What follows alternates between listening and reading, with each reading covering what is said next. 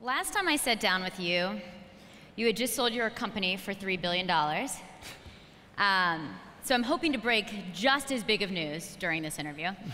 um, but just to start out, you know, since you sold the company last, you know, since you sold the company, you guys have been integrated with Google, although I know you operate um, pretty separately. You know, what are some of the biggest changes since that sale? Well, for us, really, um, we were able to come to Europe much more quickly, right? One of the big deal, uh, big parts of the deal was to be able to get infrastructure, and uh, you, you know, not office space, people, legal, all of the various things that we need to be able to open up countries for business. And so we were able to, you know, eight weeks ago, go into uh, four more countries here in Europe, and we hope to roll out into more countries around the world very quickly because we're in 135 countries. Our products are used in 135 countries where we don't even sell yet. Hmm. So we have a lot of work to do, and, and Google has brought a lot of resources to bear to help us with that. What are some of the challenges kind of rolling into a, a new country? You've got a, a, lot of different restrictions. It's completely different. So, what are some of the challenges as you guys try to do well, that? you know, first you start off with um, the homes. The homes are different, right? In the US, many of the homes were just built in the last 20, 30 years. Many of the homes here uh, and around Europe were 80 years, 90 years old, or even older than that. And they also have infrastructure that's different, not just the electricity voltages, but how they're wired, how they're plumbed, and it's different in every single country. It's not like the US where it's much more similar.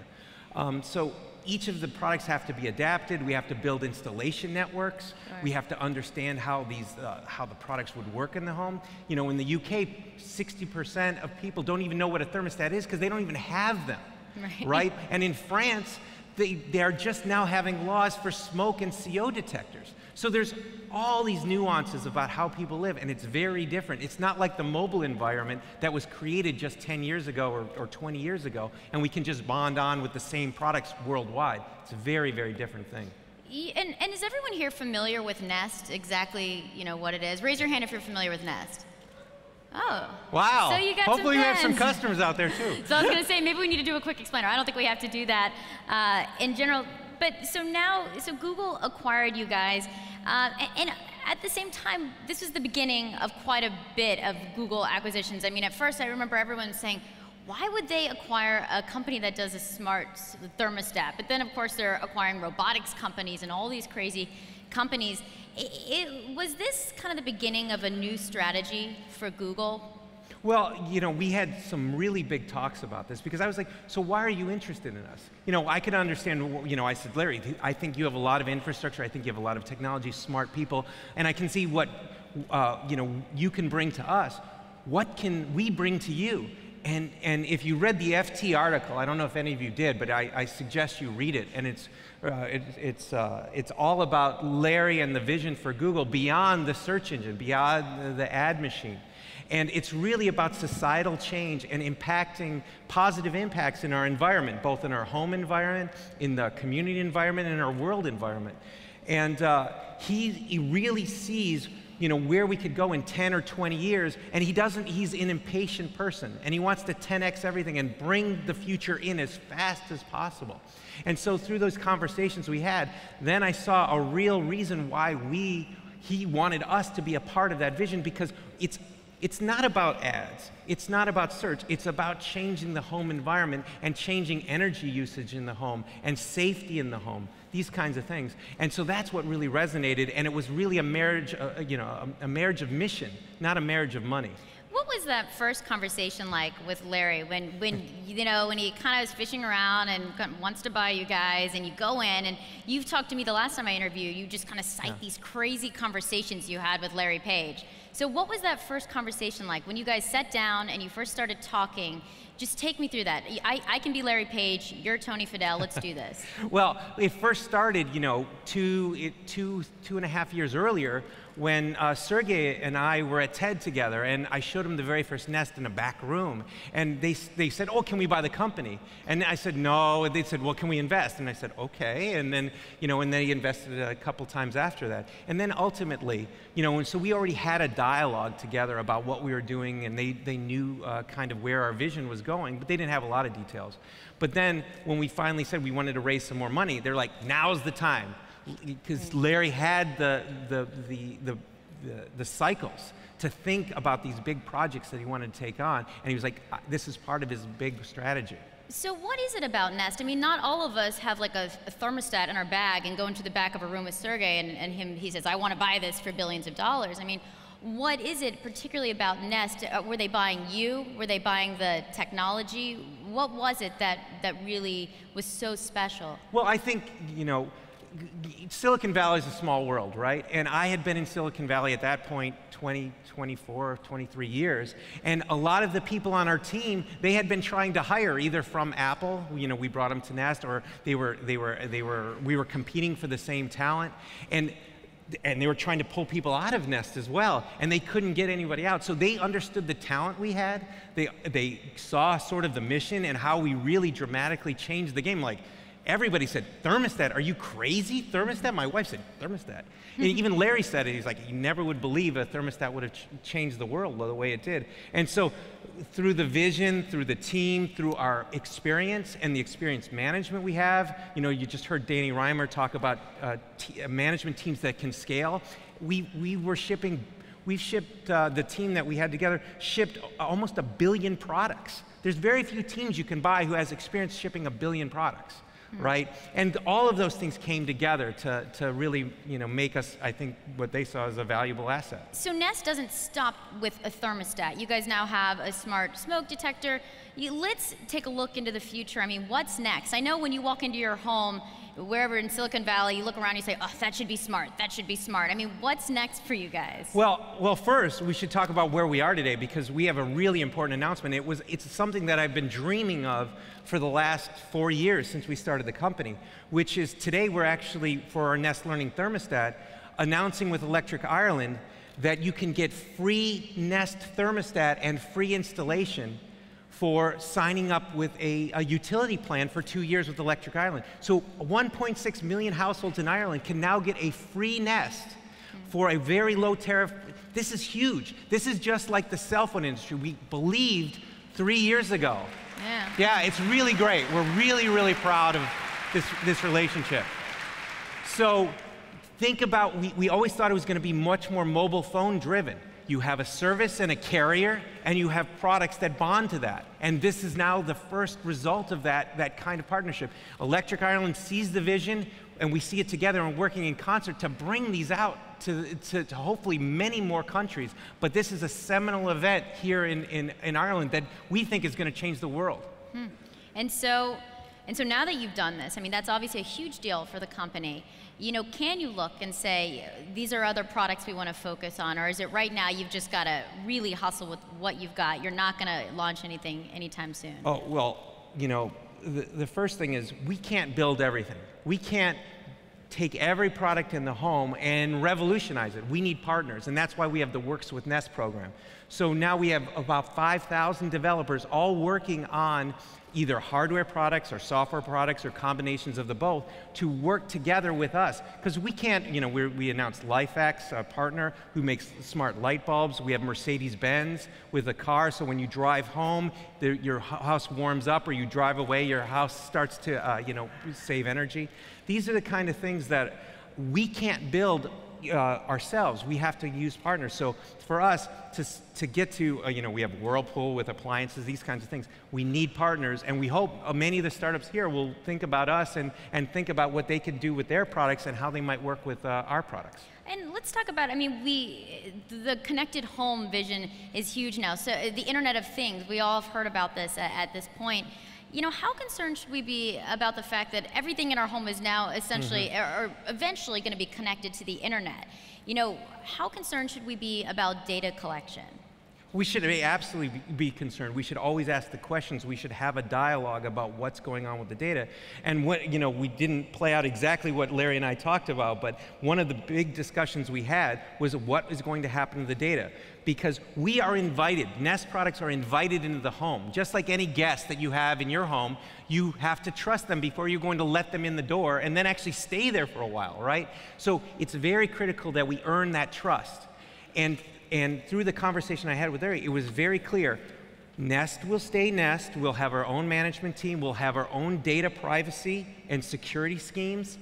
and they're not the data's not going to flow over to the ad machine and ads are not going to flow back over to the to the nest the nest products we have a very different business model so the first thing is having that dialogue like uh, we did with larry who said specifically we are not going to do this now it's our job as nest to earn the trust of country by country home by home to show that we uh, are doing the right things for data privacy, data security, and, uh, and keeping our, um, our products uh, you know, really secure.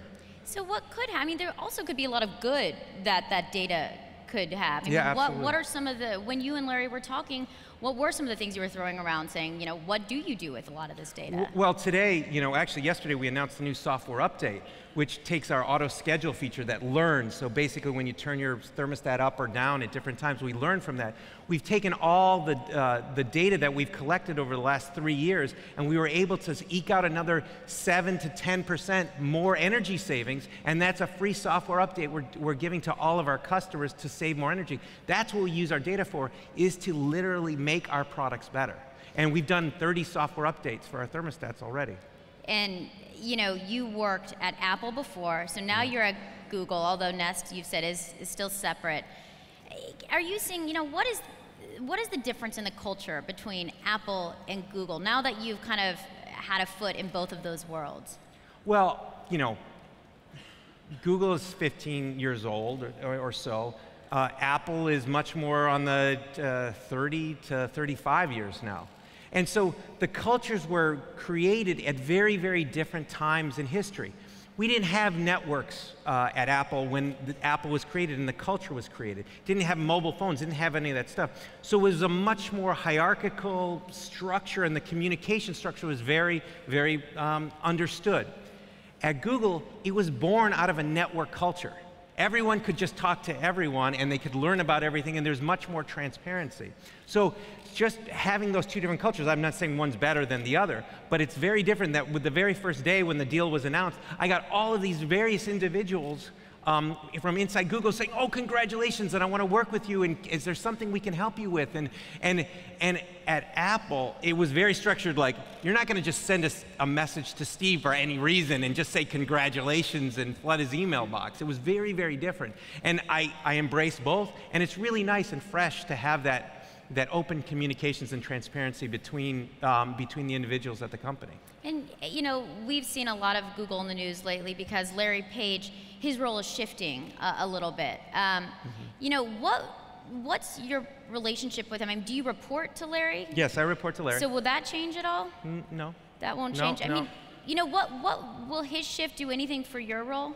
Well, I, you know, he's going to spend, he's going to have more time to spend with us, and that's great because he knows Google way better than we do. He knows, he knows a lot of it. You know, I'm sure there's a lot of things he doesn't know, but he knows a lot of the interesting technologies. He knows, hey, we have this over here. Maybe we can, we can utilize it here. So I, I'm looking at it as a great resource because I can only learn so fast because we're so busy building the business we're building, but I can only learn the different parts of Google um, so quickly and, and, the rest of our team. So I'm, I'm looking forward to spending more time than just the, the few hours we spend a week together and hopefully spend more like a day a week together. I mean, you guys are such a, a, huge part of the hardware push at, at Google. Do you think in the future there will be more of a push, even through Nest, to, to do more hardware products through Google, not just specifically Nest? Well, you know, before Nest, there's the self driving car, there's Google Glass, there's all kinds of other hardware projects. So I think we're just a further extension of that and, and, and getting deeper and richer into that area and bringing more expertise in. So, you know, I, time will tell, but absolutely, you know, you can innovate software with great hardware. And remember, they were, and you don't see this, but the server's software, server hardware is so incredible. Like they build their own servers. You know, we build our own servers now. And, and, and, those kinds of things are incredibly powerful to help the, the software evolve much more rapidly. And, uh, and I think that's what's going to happen when you see a connected home with you know, things on the Google side, the Google Brain, and how those might blend together over time, but still staying very safe and secure and private data. So in this article that you're telling folks about, it's a, it is a fascinating article. People should read it. Larry Page admitted that Google's mission statement seemed a little bit outdated. The, the mission statement was uh, to organize the world's information and make it universally accessible and useful. So he said he was kind of in search of a new mission statement. It's, you know, to be determined. Since you're at Google, if you had to think of a new mission statement, what would you think the mission statement now would wow. be? Wow. wow, that's really? You're going to put me on the spot with that one? Hey. Um, well, let me think. Uh, really, I think it's going to, I would think it would be a, uh, it would, you know, it's, the, the original mission statement was, was very broad and it was very much about information. I think this is going to be about, uh, the next mission statement is going to really be about societal impact around the world, a positive societal impact to accelerate change, to bring and to get rid of many of the problems that we have today with lack of transparency in government, lack of transparency in how we consume energy and our natural resources. I think you're going to see much more focus around that and removing drudgery and those kinds of things that are a part of our everyday to make more effective knowledge workers. Hmm. That's what I think that's going to, what you're going to see in that new vision. That wasn't bad. I think, you know. Well, um, try. try. Um, you know, and I know you're always asked about this, but you did work very closely with uh, Steve Jobs, and you're a very intense person, not in a bad way. You've got to be intense to be a, a, leader, right? Steve Jobs was very intense. Yeah, we got to deal a lot of this. Tell me, but did you guys did you guys constantly clash? I mean, obviously he was a mentor, you guys were very close, but what what did you guys clash over?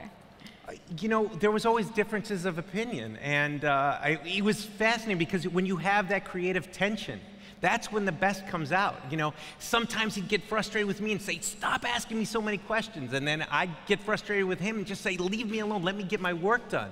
And so this was a, but it's a dynamic thing. I would never trade it for the world. But if you in your startups out there are not having that tension in a positive way for a better outcome for the consumer, you know, I see a lot of the startups that I invested in those things where management teams come together and they fight about title and who can do media and who can do this and that.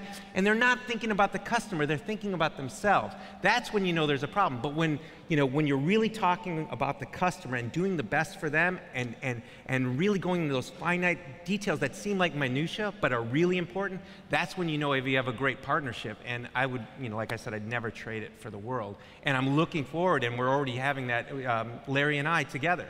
It's great. Is Larry a mentor now? Because I know a lot of the mentors or a lot of the people you really respect and you had that relationship yeah. with, you know, unfortunately have passed away. You know, yeah. you talk about uh, the first person you worked with, you talk about Steve Jobs. I mean, is Larry Page really, is that one of the reasons you wanted to join Google? Yeah, you know, selfishly, and I even said this to Larry, was look, at the end of the day, I can only push myself so hard. I need somebody else. I, what, what made me the best was the creative tension to push me to be even more than I, than I was. And that's what got me to this point. And I want to continue to have that. And Larry has a very different perspective in terms of technology and how we can bring the future in. And that pushes me to want to do more and more. Because, you know, we all get complacent sometimes. And, you know, when you're, you know, top of the hill, you need somebody to knock you down. Hopefully it's not a competitor, but somebody who's working with you and to, to, make, a, to make you better. And so it was selfish for me because it was really, to me, a, a kid in a candy store again with that intense pressure to hopefully accelerate the future, bring, bring it in much more quickly. When we talk about you being kind of behind the iPod, what was it like when you were sitting there with Steve and you were telling him about it for the first time, or you were, yeah. you were trying to pitch that idea to Steve for the first time? What was his reaction? Well, I had a lot of background, not with Steve himself, but I had a lot of background with, um, uh, with the team that built the Macintosh. So at General Magic in 1991 to 1994, many of you probably never even heard of it, but it was the team that created the Mac, minus Steve, that created the iPhone 20 years a lot sooner. And so, and, and, and 20 years sooner. So what happened was I heard all of the stories of Steve and what happened on the Mac team and how they would have to hide people in the closet because Steve never liked that person and didn't want to use that technology and they were trying to build a story for why they should use this or that. So I heard all of these stories. And so the very first time I needed to pitch to him, I had all these stories in the back of my brain. I'm like, what is going to happen? Is he going to be just flying off the handle? Is it like, you know, because, you know, everybody loves to embellish the stories, right? And so I finally showed up and uh, we sat down and it was, he was listening, he was challenging, and it was just a phenomenal meeting. And we walked out and I was like, wow, that's not what I remember. And a lot of people were like, well, he's mellowed a lot in the last 20 years. um, but then the other thing is people were like high fiving, going, that's one of the best meetings we ever had because when you're really engaging at that level with him, uh, it was really, really cool. And there were other times when if you screwed up, he took you to task. And, uh, and, and we deserved it, you know, and, uh, but that made you better.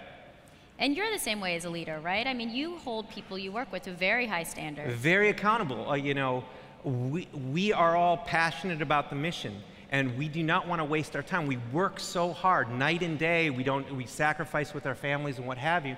And we're there to, to make sure we hit our schedules, to make sure we hit the right quality level for our customers and, and hit the, the high notes for them.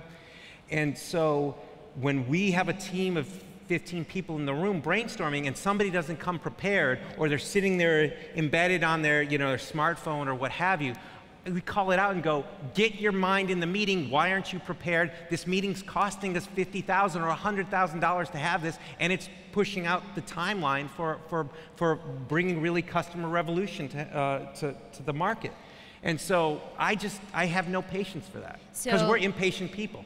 When you look at your resume, uh, you've got the iPod, you've got, you worked on the iPhone, now you have Nest selling your company for $3 billion. You got a lot of good things on your resume. What's not on your resume?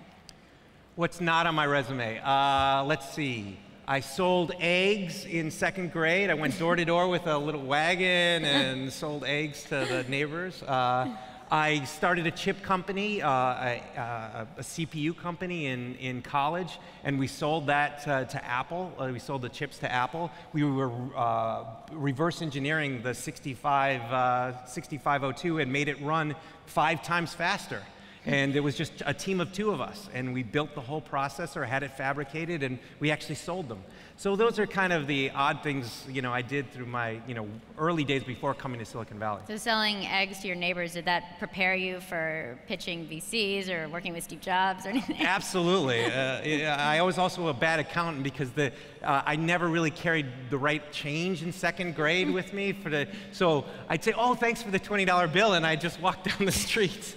so maybe that's a good thing to, you know, that was, that really helped with VCs. Yes, our value is much higher, please give me more money, you know, that kind of thing. What area right now, when you look at technology, it, it, we've seen technology disrupt so many huge, uh, you know, education, transportation. What area right now is ripe for disruption? Well, I still think transportation is huge. You know, we're, we're, we're seeing it. Um, we're seeing space travel also, or personal travel being changed. Unfor- we had the unfortunate incidents last week. But uh, look, transportation is dramatically unfolding and unfolding faster than we thought. Self-driving cars, partially self-driving cars, assisted driving, um, you know, just you know, between Uber and the other Lyft, uh, you know, Lyft sharing uh, things. So transportation is continuing to evolve, and it's very fascinating because I think it's going to affect a lot of. It's the way we transport between home and office, and I think it's that connectivity is also going to affect what we do at Nest. Who's going to win, Uber or Lyft? I have, I have. I, I, am conflicted there. All right, well, we got to wrap, but one more question, just because I know a lot of people here are building out their own companies, so I always like to, you know, give you the opportunity, you know, to talk a little bit, just if you could hit on failure. Failure is a huge part yeah. of entrepreneurship. What advice do you have to folks building their own companies? You will fail. Uh, you're going to fail a lot. I, you know, I had many companies and did many things before the iPod, and it was perseverance you know, and learning through that and just continually trying and trying, but really understanding what is wrong, not just with your idea of the product, but what you need to change inside of how you listen to your gut, how you listen to others, because it could be your management style. I was a horrible manager when I went from an individual contributing engineer till I became a first manager. Horrible manager. And it took me about six months to really learn how to do that right just to be a manager. And then it took even more to be a leader and vice versa, and even further from that. So understand you're going to fail. You know, you, when you start to learn speak, you, when you start to learn to speak, when you started to learn to walk, you failed many times before you could do it right. It's going to happen. And you know, when we look at something like a, a Snapchat out there, or whatever, yes, lightning strikes, but it, it's not the real uh, way that success happens. Most successful entrepreneurs are in their 30s. They went to work with their heroes when they were in their 20s. They learned the hard lessons. They went through failure. General Magic, that I talked about, was a billion dollar failure in 1994. A billion dollars back then. Huge amount of money. And it was with the smartest team that we knew of, right? So just be prepared for it, but understand that is about getting to that, uh, that next level to actually get to that success. You know, I'm not the youngest fish. Yeah, I'm 45, right? Most people are half my age in the audience, right? And are trying to build these startups. I was there too, and it didn't always work out. Great. Tony Fadell, thank you so much. Great. Thank you, everybody.